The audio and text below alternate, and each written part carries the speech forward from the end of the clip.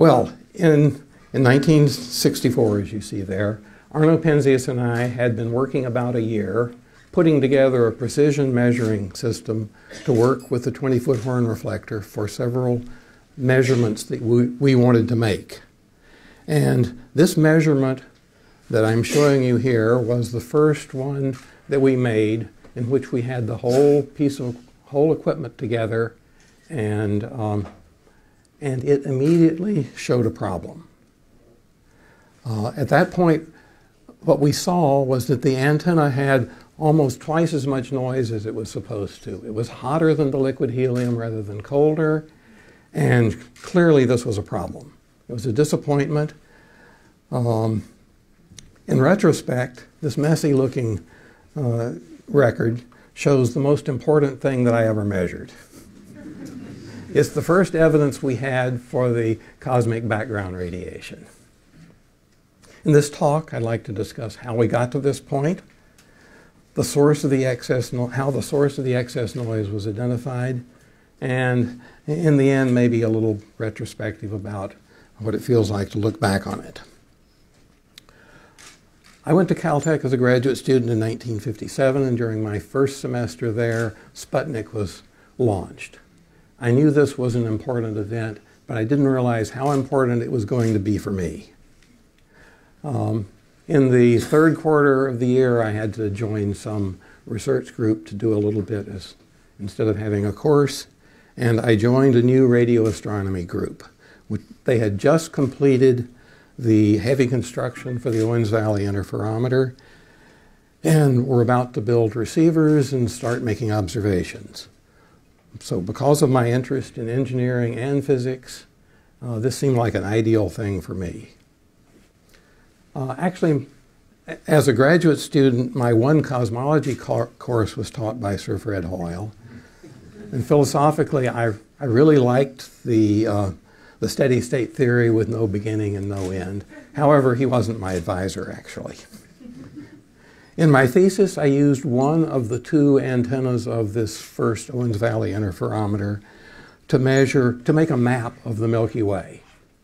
Since dish antennas tend to pick up some ground radiation as well as what they're looking at in the sky, and that varies with depending on how you aim it. What I did was point to the west of the Milky Way and let the Earth's rotation scan my beam through it. And in those days, we didn't have computers, so there was a chart recorder, and you would see the power go up and down. And then later, I would take a meter stick, draw a line across the bottom, and measure above that. Um, this was good enough for the Milky Way since it's very thin compared to its diameter, but it was clearly unsatisfying because here we are inside it, and nowhere we look would we have no Milky Way radiation. But there was nothing better I could do at that point. Meanwhile, at Bell Labs, uh, John Pierce was a, a polymath who went around inspiring people to do things at Bell Labs. He wrote the book on uh, electron guns to make electron beams. He contributed to communication theory. He started what I, what I think was the first computer music uh, project, and he wrote uh, uh, science fiction. I think probably the latter was the uh, uh, was the influence that made him think about putting a telephone repeater in orbit. Anyway, he wrote an article about this and so when Sputnik went up and later NASA launched, was planning to launch the Echo balloon, Bell Labs was ready to jump. He knew that uh, the Echo balloon would not be a usable communication satellite, but it's always a good idea to start your experimentation with something fairly simple. So you use the very simple satellite and you learn how to track it you'll probably learn a lot about what you have to know to do the more complicated thing. So they decided to put a big effort into that. Now we have a spherical balloon. When a wave comes up and hits it, it bounces off, it gets scattered in all directions. So the return signal is going to be very small. So they put together two Bell Labs inventions to make a very uh, very sensitive receiving system. A traveling wave Ruby, Ruby Maser, which had been actually built for the Cold War, and a large horn reflector antenna. The horn reflector would not destroy, would not pick up so much ground radiation that it overrode the Maser's very low noise. So ECHO was launched. It was used as a microwave relay. Eisenhower's voice was transmitted from JPL, received at Crawford Hill on the 20 foot horn reflector, and broadcast to the world over landlines. Um, they had started Telstar. It was completed, launched in 62. The 20 foot horn was changed to receive uh, one of the signals from Telstar. So after finishing my PhD, there had been a Caltech uh, recruiter coming around our area, and I took a job at Bell Labs. Arno Penzias had been hired uh, more than a year earlier. He had done a radio astronomy thesis with Charlie Townes at Columbia. he had actually built a maser. So why did Bell Labs hire two radio astronomers? Are we going to make communications better? Well, I think the reason they told the management is that radio astronomers know about large antennas, they know about measuring weak signals or receiving weak signals through the Earth's atmosphere. It would be good to have a couple around to help us with satellite communications. But I think there are two other undercurrents here. One is that the group I joined was the same group, some of the same people who had been at Bell Labs in the 1930s when Carl Jansky discovered, if that's the right word, radio astronomy. Carl Jansky had discovered that there were signals coming from the galactic center, and that was the start of radio astronomy. now, that was the uh, time of the Depression.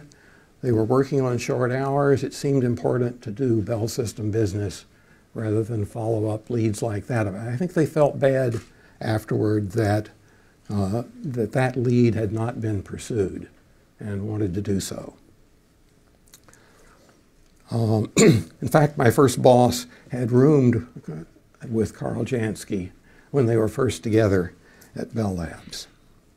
The other thing is that Art Crawford, my first boss, who had built the 20 foot horn reflector, and the people who had made the maser were quite proud of what they'd done. And they wanted to see it be used for something more than just a passing satellite experiment. So they were happy to have a couple of astronomers around to actually make use of what they had done. The attraction to Arno and me was a very good research environment, uh, generous support, and the opportunity to use the 20 foot horn reflector with a very low noise amplifier, which would make this relatively small antenna quite sensitive. Both Arno and I had used larger antennas, but there were special properties of the 20 foot horn reflector. This shows a picture of a few horn reflectors the way they were originally used on a microwave repeater tower. A weak signal would come in from somewhere, be, be received by one of them, and then a strong signal transmitted out uh, to the next tower, maybe 20 miles away. This is the 20 foot horn reflector. It's been turned over on its side. And let's see if I can get the pointer to move around here. Can you see this? Yes. Uh, this, this is the reflector part, which is a piece of a paraboloid. So a, a wave coming in here is reflected down the horn and focused inside the cabin at the obvious place. Um, you can see that there's shielding from the receiver all the way out to the reflector. And that does a very effective job of preventing ground radiation from getting into the receiver. The other wonderful thing about this antenna is that there's a large cabin out here which can support a lot of weight and doesn't move around with respect to gravity. So we could put very large receiving equipment in there. The, the, the maser itself must have weighed 1,000 pounds with its permanent magnet and all. And we put quite a bit of other stuff in there. Uh, so after I got there, Arno and I clearly were going to work together since there were two of us. and so we set down uh, a little list of, what, of the things we thought we might want to do. The first was clear. We should measure the absolute strength of a radio source called Cas A, which is the strongest in the sky, at 4 gigahertz. This would be useful for astronomy, and if we did it at 4 gigahertz, which was a satellite frequency, it could also be used to, um, to calibrate Earth station antennas. So it served the Bell system, and it was a service to astronomy. Then we would switch to about 1.4 gigahertz, which might include the hydrogen line, and, um, uh, and we would uh, look for a halo of radiation around the Milky Way and fix up Arno's thesis, which had been looking for hydrogen clusters of galaxies. By starting with a 4 gigahertz system, we could make a null measurement uh, for the, uh, the uh, halo of radiation of the Milky Way. We built the best measuring system we could. Uh, Arno made a liquid helium cooled reference noise source. Uh, we me we're measuring thermal noise, so we usually refer to it by temperature. The higher the temperature, the more noise there is. It's just the most convenient way. I made an accurate switch and a radiometer system for comparing them. After assembling our radiometer, the first measurement, of, as I've said, uh, was a big disappointment. The antenna was hotter than it should have been by an, about three and a half degrees. This same effect had been seen earlier at Bell Labs, but had been dismissed because it was within experimental error. But we had a direct uh, contradiction. By this time, though, Dave Hogg and I had measured the gain of the 20 foot horn reflector, and we didn't want to do anything to it until uh, we had a chance to transfer that to celestial sources. So we spent nine months improving our receiver, checking everything out, calibrating. And during that time, the 3.5K uh, extra noise uh, was always the same wherever we looked, unless we were looking at some specific source. During that time, we tried to think of everything we could, could to uh, explain this extra noise, and we ruled out most of them. Uh, since time's a little short, I'll talk about two of these things. There were a couple of pigeons living in the antenna. and we thought that pigeon droppings might actually have make microwave radiation. They would absorb microwaves. So at some point we replaced the receiver with a pigeon trap, caught the pigeons, put them in a box, put, shipped them in the company mail as far away as we could, which was Whippany, New Jersey. Uh, we found the name of a pigeon fancier, sent them to him. He looked them at them and said, These are junk pigeons, and let them go. well, what do you expect? Two days later, pigeons are back. so, in the interest of science, our technician brought in a shotgun, and uh, that was the end of the pigeons. Then Arno, then Arno and I got up there in our lab coats with a broom and scrub brush and cleaned out the antenna. Um, the other sort of unusual thing we thought about was that in 1962, there had been a high altitude nuclear explosion out in the Pacific. I happened to be in Honolulu at the time, sort of celebrating my PhD, visiting my wife's sister, and the sky lit up like you wouldn't believe when this thing went off. It went off about sunset, but the sky just turned orange. Uh, David was talking about uh, fantastic northern lights here. Well, you should have seen that. northern lights on steroids. anyway, it filled up the Van Allen belts, so we thought that was a possibility. But after a year, it hadn't changed, so, and those would have been decaying. Then one day, Arno called Bernie Burke, a fellow who now has been at MIT. And neither one of them remembers what the topic of the conversation was, but at the end, Bernie said, What's going on with your crazy experiment? Now, the background to that is that Arno and Bernie had been on an airplane going to Canada some meeting, And Bernie had been saying, What are you guys going to be doing at Bell Labs? I think the implication, why, weren't, why aren't you at a real academic institution? Anyway, Arno had explained our, um, our plans, and, um, uh, and Bernie had said, There's no halo in the galaxy. You're wasting your time.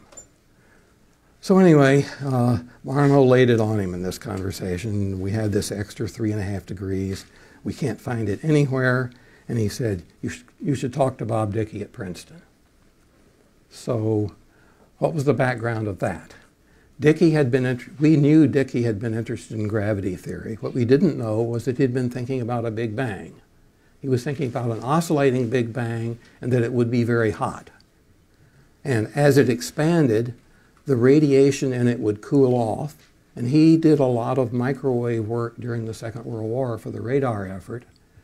And he understood that it would become microwaves. So, what does a university professor do when he has an idea? He got himself two postdocs.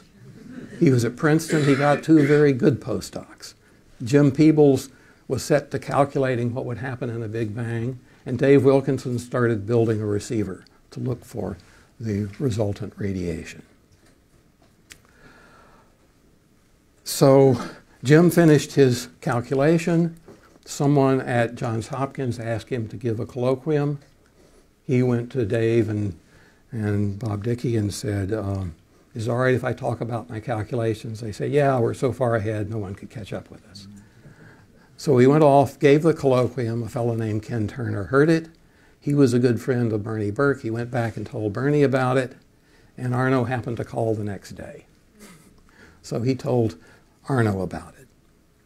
So uh, Arno called Dicke, and it happened that the Gravity Group, as it was called, uh, was having a sack lunch in Dicke's office. Phone rang. Dicke picked up the phone, started talking, and they heard atmospheric radiation, sky noise, antenna temperature, all the things they'd been thinking about. Their ears really pricked up. And after a few minutes, Dicke put the phone down and said, Boys, we've been scooped. so we invited them over. They came over, and I think we were able to answer all of their questions uh, about what might be right or wrong about our experiment. Arno and I were very happy to have any explanation at all at that point. Uh, however, we didn't take cosmolo cosmology very seriously at that time. Um, so we and Dicke's group wrote two separate papers. Our, the short one you saw before about what we'd actually measured. We had previously published a much longer paper about the Cas A measurement, which had all the details in it. And they wrote about the Big Bang and the noise that might be there. After one final check, we submitted our paper. But before the paper actually came out, uh, Walter Sullivan was poking around the Astrophysical Journal office and got some hint of this. And he talked to us and the Princeton people and wrote a front page article in the New York Times on May 21st, 1965. That started me thinking that this cosmology business may have some, some real import. As a personal story, it happened that my father was visiting from, from Texas uh, the night before. He had business uh, in New Jersey, uh, three quarters of an hour away from where we were. I was still kind of a graduate student in thinking and got up sort of late, but he was a business guy and got up early. And he walked the quarter of a mile to the uh, local uh, drugstore, bought a New York Times, and came back. And there on the front page of the New York Times was our, our telescope and the article about the discovery. We were both, both very pleased, I think. so, I'm here to tell you that these two guys in 1965 didn't know how big a thing they'd come across. Um, it only came on later. I feel very lucky that I had the job at Bell Labs. Uh, Bell Labs supported us for taking Bell Labs technology and applying it to astrophysics. There were also many experts, people who had invented the things that, in microwaves that people use, who were there and were happy to answer questions. Another wonderful thing was I started my career when radio astronomy and cosmology were relatively young sciences, but poised to blossom as technolo technology improved and people were able to measure more things.